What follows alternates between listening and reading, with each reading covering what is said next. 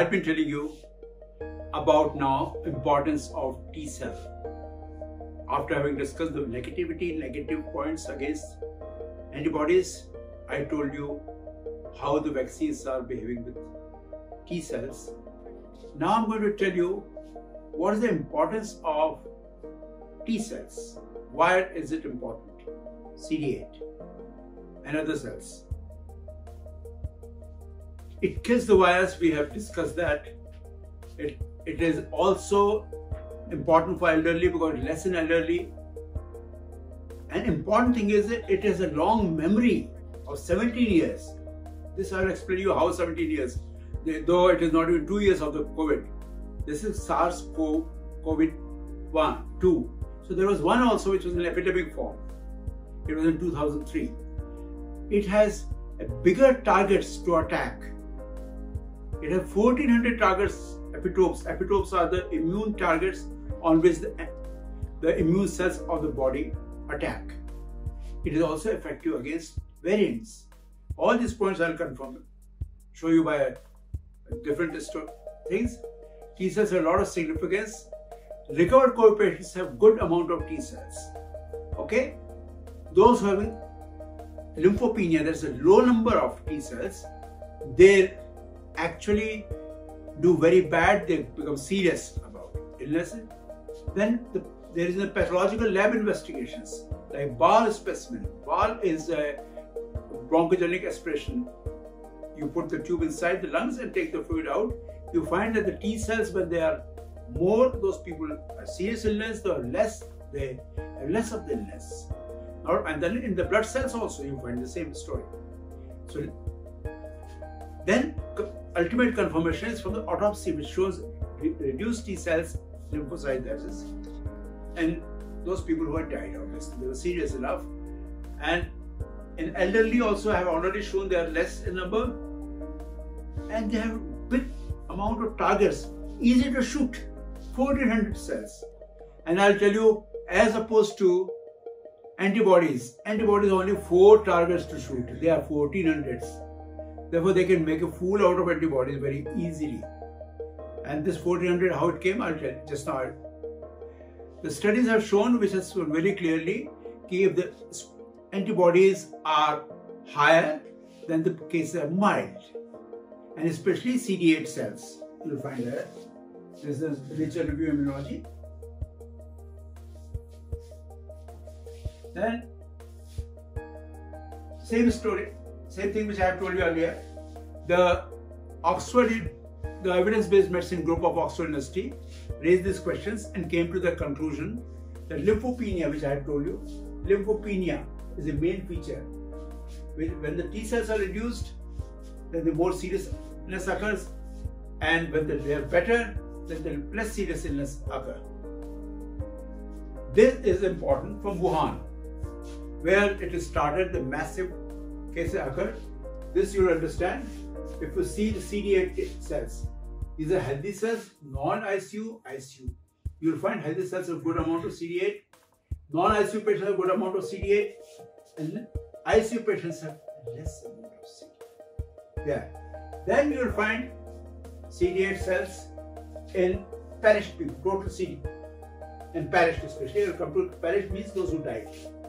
Again, they are very low. Those who had severe illness, they were low, but mild to moderate cases, mildly serious cases, they had more and they survived. The perished cases also had, it shows very clearly that lower the number of CD8 cells, serious is the illness and chances of death are higher. Here you can see CD8 T cells count 64.3 in ICU care. Non-ICU care it was 208. So this is the difference. Age-wise also one can see. In short, I can conclude that the evidences from the clinical side is that CD8 cell should be increased, should be more for the patient to recover. If it is less, the chance of severity and depending on the age and other factors, the chances of uh, perishing are little more. This is the study, a comparative study from a journal which has seen the BAL study also bronchospecific fluid and peripheral blood mononuclear cells uh, by cytometry. They find strong T cell lymphopenia in severe diseases. All these are the examples. Similarly, stronger T cell lymphopenia in severe diseases has again been shown in mild disease or healthy. If the T cells are strong, high, then mild disease is there. In autopsy studies also, similar finding is confirmed. But this study from John Hopkins and National Institute of Allergy and Infectious Disease in USA did a good study. they took blood from the 30 patients who were recovered from the normal coronavirus. And they, after, from their blood, they saw the T cells and they tested them against the variants. And what they found? They found that the, they found the T cell responses remained largely intact and could recognize virtually all mutations. So T cells can recognize variants also in fight. Unfortunately, in this study, uh, Delta was not included because it was not so prominent at that time. This is from a study from a biobank, autopsy cohort and biobank, published April 29 April 21, if you can see. This shows very clearly that CD8 is absent in those who have died. Absent. So, autopsy studies also confirm it. Biobank also confirms it. Everything is confirming the importance of CD8. But there's a catch. Don't go by T cells only.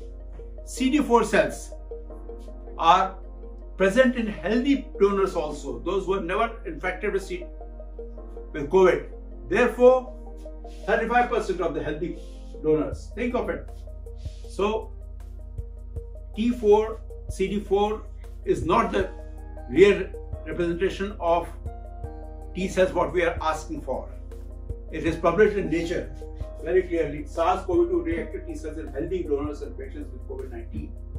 It was published and I must tell you that this is very clear. This makes it very clear that all those vaccines which claim that they are stimulating T cells and showing CD4 responses or Th1 responses, even skewed means CD4 helper cells are more. It does not make any sense because they cannot give the real desired function of the cells. Thank you.